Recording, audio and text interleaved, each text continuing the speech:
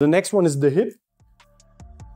That's what most people would call belly fat, isn't it? Exactly. So this is an indicator for blood sugar and insulin. Because the thicker your skin fold on the hip, the less insulin sensitive your cells are. And this is very, very important in today's lifestyle. Consuming so much carbohydrates as we do right now, with eating bread in the morning, eating pasta for lunch, and eating pizza for dinner. From an evolutionary standpoint, we never did this. And before we were hunter-gatherers, so we eat meat and plants and berries, for example, yes, and some fruits.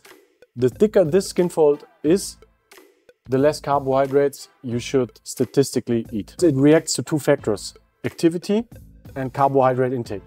Let's say we put you on a low carb diet and make you strength train four times. Okay, now The- the it's hip 10, now it's 10. Like how much can, can it go down next time I'm here in one month?